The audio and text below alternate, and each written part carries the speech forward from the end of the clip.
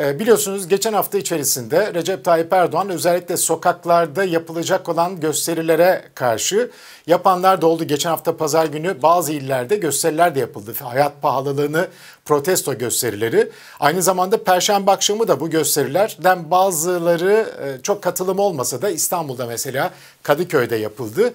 Ama Recep Tayyip Erdoğan bununla ilgili açık bir tehdit savurdu açıkçası. Ve o tehdidinde de dedi ki sokağa çıkanları bizler Cumhur İttifakı olarak kovaladık e, kaçtıkları yere kadar kovalayacağız dedi. 15 Temmuz'u görmediniz mi diye de söyledi. Evet Erdoğan'dan yeni tehditler geldi. Peki yeni tehditler ne anlama geliyor? Bunu sizinle konuşalım. O zaman Fuat Bey'le başlayalım. Aslında konuyu sadece bir tehdit meselesi üzerinden ele aldığımız zaman resmi tam görmemiş olabiliriz. Yani resmi tam görme adına birazcık geniş çerçeveden olaya girmemiz gerekiyor bence. Hı hı. Birincisi önümüzde bir seçimler var ya ve bu seçimler öyle ya da böyle gerçekleşecek. Ee, ve Erdoğan'ın e, üçüncü defa Cumhurbaşkanı adayı olabilmesi için en geç Haziran 2022'de bir erken seçim kararı alması gerekiyor.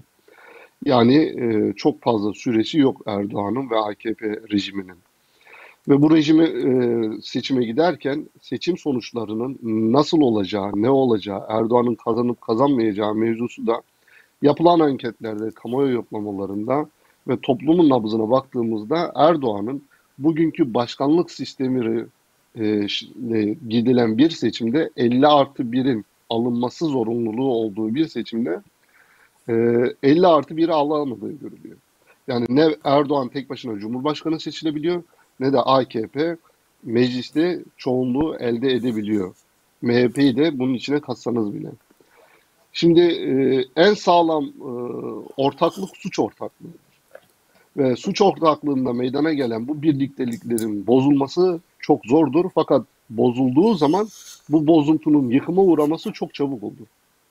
Şimdi Erdoğan rejimi 17-25 Aralık'tan sonra öyle bir suç ortaklığı inşa ettiler ki bunun içinde hırsızlık dersiniz, işte uyuşturucu ticareti dersiniz, silah ticareti dersiniz, işitlere olan ticaret dersiniz, her türlü suça bulaştılar. Ve bir iktidarın en büyük lüksü muhalefete de dönebilme lüksüdür.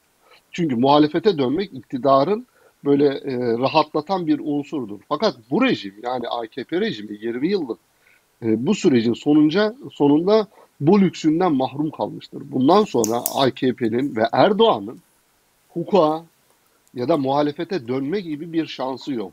Çünkü döndükleri zaman eğer muhalefet oldukları gün e, hukuka dönecekler ve hukukun önüne çıktıkları zaman bütün işlemiş oldukları bu suçlardan dolayı hesap verecek. Ve bu hesap vereceklerini en iyi de onlar biliyor. Rejimin suçluları hangi suçlarla suçlanabileceklerini ve bu suçlamayla karşı karşıya kalabilecekleri sonucu en iyi onlar biliyor. Bundan dolayı da Erdoğan bu psikolojiyle ve bunun bilinciyle önünde de çok fazla sürenin olmamasından dolayı ortada hiçbir sebep yok yani. Mesela muhalefet deseydi ki biz sokağa çıkacağız, sizi protesto edeceğiz, şunu yapacağız, bunu da yapacağız. Tamam o zaman Erdoğan'ın çıkıp sokağa niye çıkıyorsunuz? Çıkarsanız bunlarla karşılaşırsınız deme gibi bir hakkı ya da böyle bir mantık arayabilirdik. Fakat bunun tam tersine muhalefet biz sokağa çıkmayacağız. İnatla sokaktan uzak duracağız dediği bir ortamda Erdoğan'ın sokağa çıkmak gibi yani sokağa çıkmak bir halkın protesto hakkı anayasal hakkıdır. Yani bir insan e, eğer hükümetten razı değilse, aldığı maaştan mutlu değilse, yaşam koşullarından mutlu değilse anayasal güvence altına alınmıştır ki bu insan sokağa çıkıp protesto etme hakkını kullanabilir. Fakat Erdoğan öyle dediğim gibi psikolojisi şu anda sağlam değil.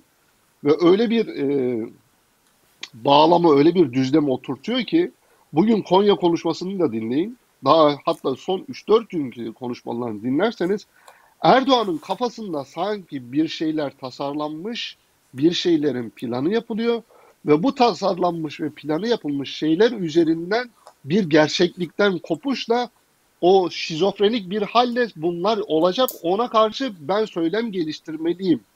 Psikolojisi içerisinde söylemlerde bulunuyor. Sokağa çıkmayı 15 Temmuz'da 15 Temmuz'da bir araya getirdi Erdoğan. Bu ilginç bir şey.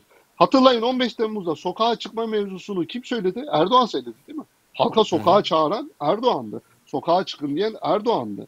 Şimdi aynı Erdoğan bunun tam tersine yani o gün sokaktaki insanların demokrasiyi kurtarıyor dediği insanların demokratik haklarını kullanmak için sokağa çıkmalarını 15 Temmuz'da kendince darbeci dedikleri insanlarla aynı düzleme getiriyor.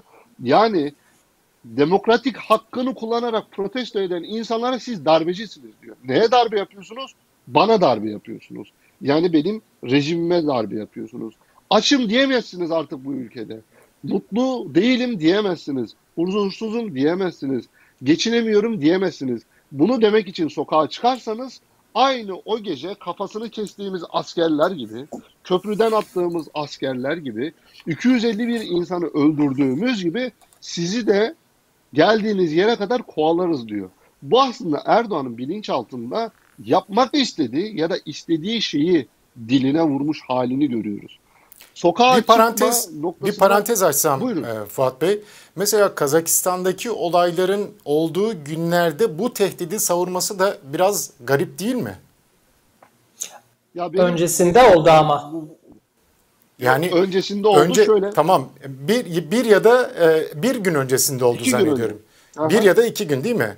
Şimdi önce bu tehditleri savurdu. Arkasından da Kazakistan'dan haberler gelmeye başladı mesela. Şimdi bütün diktatörler paranoyak olurlar ve her şeyden korkarlar. Bakın yemin edebilirim e, Türkiye'de bir şekilde ağaç kökü yemeye mahkum edilmiş insanlar Erdoğan'dan daha rahat uyuyorlar. Daha rahat uyuyorlar. Daha huzurlular.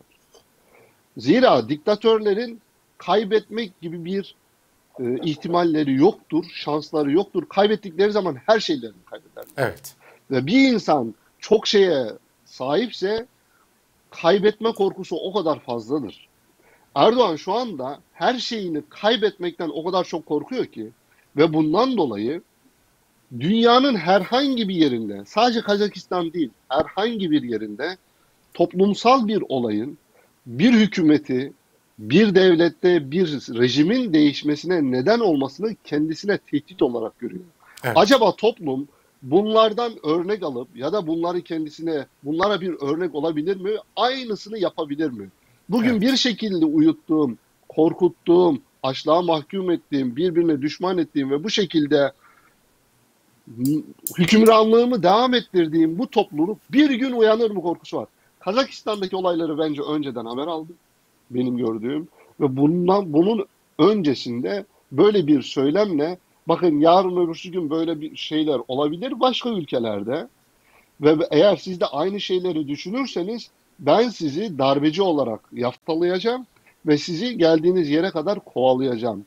Bu tehditleri emin olun evet. boş tehditler. Peki devam edin. Mezarlıktan geçen adamın mezarlıktan geçen adamın korkmamak için o akşamdan ışıktır yaylalar yaylalar demesi gibi bir şeydir Erdoğan'ın sokağa çıkarsanız sizi kovalarım demesi korkan o kaybedeceğini ve sonunu bilen sadece ve sadece Erdoğan biliyor ondan böyle bağırmaya başladı. Evet. Buyur abi. Erdoğan'ın kaybedeceği çok şey var gerçekten senin dediğin gibi. Şemsettin Efe'ye ben sözü vereyim bu noktada. Sen nasıl değerlendiriyorsun Şemsettin Bey bu meseleyi, Erdoğan'ın tehditlerini? Erdoğan'ın korktuğu bir gerçek. Yani e, baştan beri uzun zamandan beri söylenen bir Erdoğan'ı tanıyanların da e, bildiği bir gerçek var. Erdoğan'ın en büyük korkusu zaten sokaktır. Erdoğan çok öyle muhalefetten şundan bundan falan korkmaz. Zaten bunu her fırsatta da gösteriyor. Erdoğan sadece sokaktan korkar. Ee, ve bu sözleri de yeni değil. Ee, biliyorsunuz e, Gezi kalkışmasında da %51'i evde zor tutuyorum sözleri bunun hı hı. Öncü, öncülüydü zaten. Aynı şeyleri söyledi. Yani evde zor tutuyorum, salarım işte insanları, birbirinize girersiniz, onlar sizi öldürürler. İşte böyle e, zaten kendi kadrosunda, kendi içinde bunu bu ta, e, bu söylemleri ciddi manada e, bir motivasyon kaynağı olarak değerlendiren kitlesi var Erdoğan'ın. Bunu her fırsatta dile getiriyoruz. Bu kitle yani yüzde yirmi, yüzde otuzluk bir taban ve bu taban bu sözlerle, bu söylemlerle hareket ediyor. Erdoğan da onlara istediklerini veriyor. Ama korku meselesine gelince evet Erdoğan'ın en büyük korkusu sokaktır ve, ve bu sokakta da e, sokağa çıkışın e, partiler tarafından organize edilebilecek veya işte e, başta en büyük e, muhalefet partisi olarak CHP'nin organize edebileceği bir şey gibi görmüyor zaten Erdoğan. Bunu da biliyor. Eğer bir sokağa çıkış olursa insanlar kendiliklerinden e, organik olarak bir hareket cereyan eder. Ve bu cereyandan nasıl kurtulurumun e, planları. Biraz Erdoğan'da e, e, bu paranoya hali e, son zamanlarda realiteyle e, hadiselerin içerisinde e, realiteyi kaçırdığı zamanların e, göstergeleri bunlar. E, biraz sanki realiteyi kaçırıyor Erdoğan. Biraz da aslına bakarsanız yani bütün bunlara rağmen, bütün o hastalıklarına, dengesizliklerine, şunlara bunlara rağmen aslına bakarsanız o kitleyi nasıl diri tutacağını da çok iyi biliyor. Bugünkü açıklamalar da bunun örneğidir.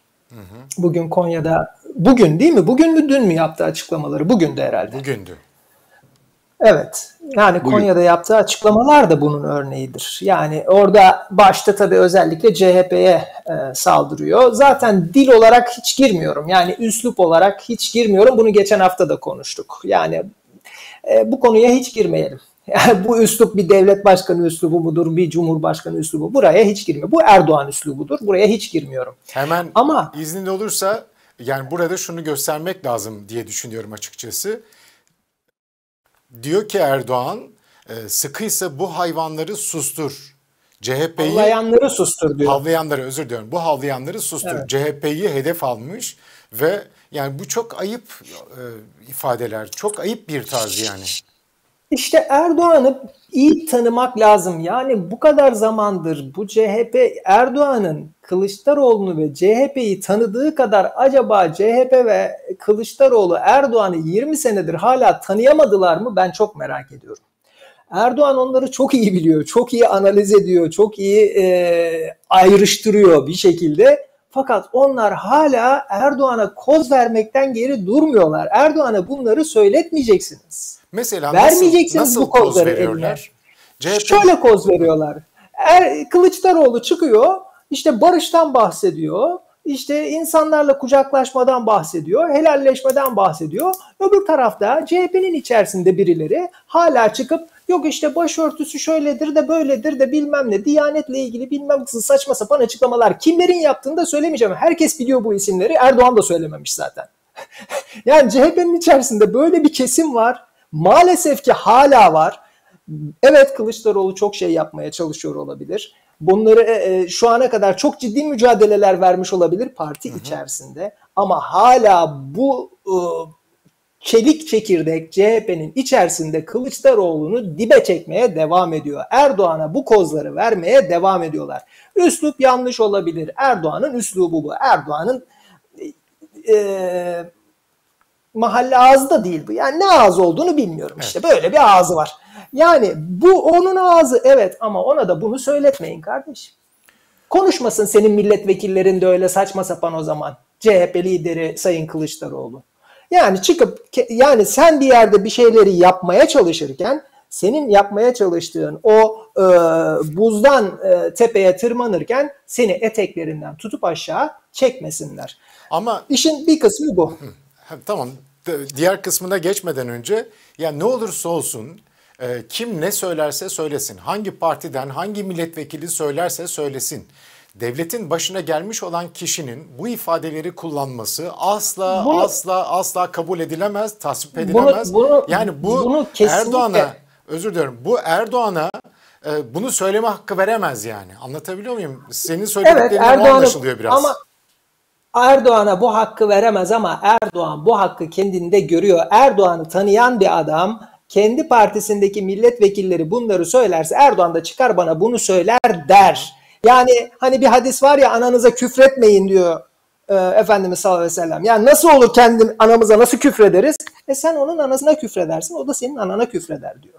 Hı hı. Yani şimdi adam kendi anana küfredilmesini istemiyorsan adamın anasına küfretmeyeceksin. Yani dolayısıyla söylediğin şeyler yüzde yüz doğru, gerçek. Ya bunların da bir sürü tartışması var. Politik olarak, politik alanda bir sürü tartışması yapılır. Layıklığın bilmem neyin falan. Ya yapmayın bunları. Bakın ortada hala yüzer gezer oylar var.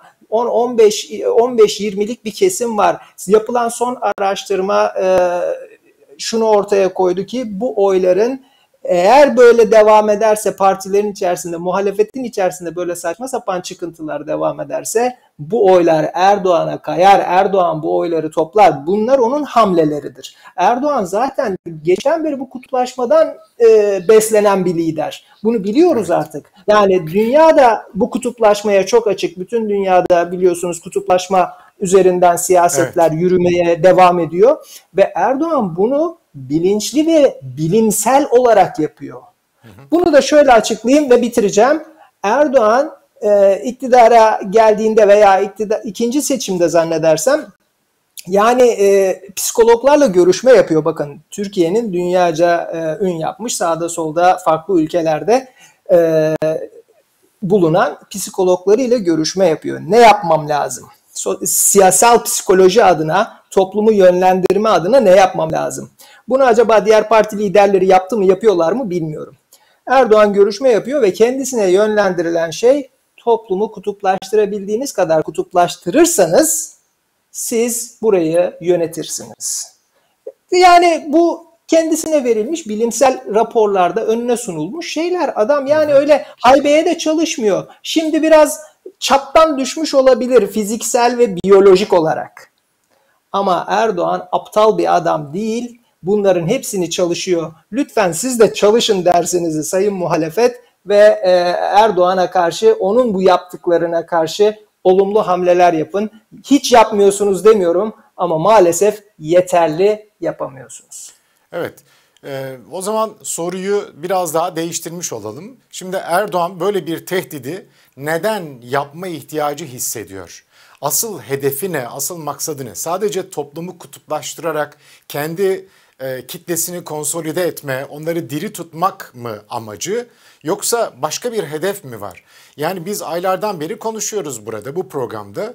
Türkiye'yi e, bir iç savaş tehlikesi bekliyor. Çünkü gidişat onu gösteriyor dedik ve bunu defalarca konuştuk. Ee, acaba Erdoğan'ın bu tehditleri onun içinde bir zemin mi acaba Şemsettin Bey? Senin kısaca bu konudaki görüşünü alayım sonra Murat Hoca'ya vereceğim. E, mutlaka böyle değerlendirilebilir. Erdoğan e, bakın şeyinin arkasında e, düşünce yapısının veya hareket tarzının arka planında böyle bir şeyi istiyor olması da muhtemel Erdoğan'ın. Çünkü nasıl 15 Temmuz'u kendi adına bir e, lütuf olarak çevirebildiyse veya böyle planladı, böyle kurguladıysa böyle bir kurgudan e, 2-0'a geçip 15 Temmuz 2-0'a geçip farklı bir kurguyla yürüyebilir Erdoğan. Ve inanın nasıl 15 Temmuz'da 251 insanı öldürttüyse bir şekilde ben e, fail olarak Erdoğan'ı gösterebilirim. Hiç bu konuda da şey yapmam. O insanlar öldürülmüştür. O insanları öldürttün. Sen tutup başkalarına diyor diyorsun ya işte siz öldürdünüz. Hayır sen öldürttün. Ve inanın 15 Temmuz'da bunları yaşayan, yaşatan Erdoğan böyle bir kalkışmayla çok daha fazla insanın ölümünden kendisine pay devşirip kendisine yeni bir Allah'ın lütfu oluşturmaya çalışıyor olabilir ben böyle düşünüyorum. Ama bir askeri darbe ya da kontrollü darbe bu CHP'nin ifadesiydi. Kontrollü darbe yapıldığında başını sonunu kontrol edebilirsiniz. Fakat bir iç çatışmada bunu kontrol edebilmeniz mümkün değil. Çünkü nerede durduracağınızı bilemezsiniz toplumları siz yönlendirdiğinizde, ateşlediğinizde o toplumda meydana gelebilecek olan yangın nerede durabilir? Bunu asla ama asla kimse e, öngöremez ve bununla ilgili olarak da plan da yapamaz. Başlangıcını yapabilirsiniz ama sonunu istediğiniz şekilde getiremeyebilirsiniz, sokamayabilirsiniz. Bu da benim görüşüm.